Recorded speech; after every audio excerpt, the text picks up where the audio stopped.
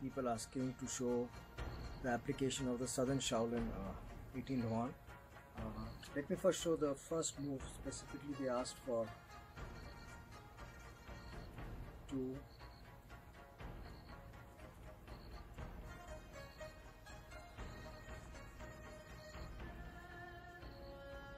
Okay. So I'll talk about this first move. The jab, and then you can hit this one. Okay. The second part was this one. So when you give jab cross, jab cross, that's inside here. Okay. It's slow. Jab cross. It's inside. Again jab cross. That's in here. Okay. Now once you do this, once you strike the guy, and then we go this one. So one hit on the weak point, and then you bring the guy down. Okay. Yes. Then also jab cross.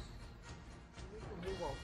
One, then you move out from and then hit to the eyes again. Okay. Three. Okay. So once you sit here, so now means go here and then open here. So when I jab him, he goes slow. Knee goes for the double leg takedown.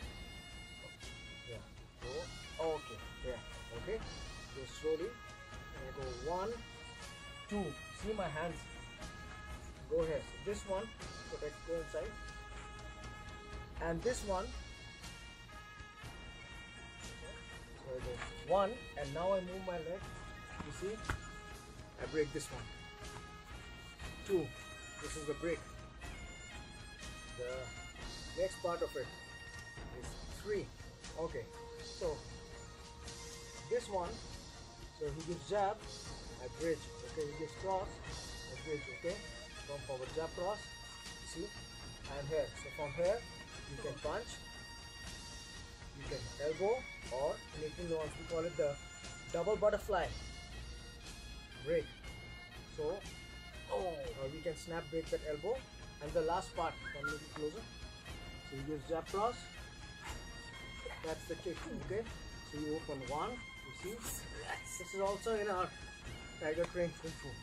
So this is the movement. So what you're doing here, you can do it on the left side to this side. Now, one, two, three. Now, look at the hand position. This one, okay come closer. Give a jab cross. See? And here. And this is to break. Okay? This is to hit the elbow. Again, one more time. Jab cross. Enter, ah, hit, and hit.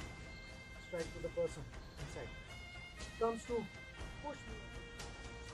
Open. And this one goes to the eyes. Strike. And now breaking the person from here. So you can hit. So one more time. One. Open grab, you break the jaw right away, strike the elbow. more.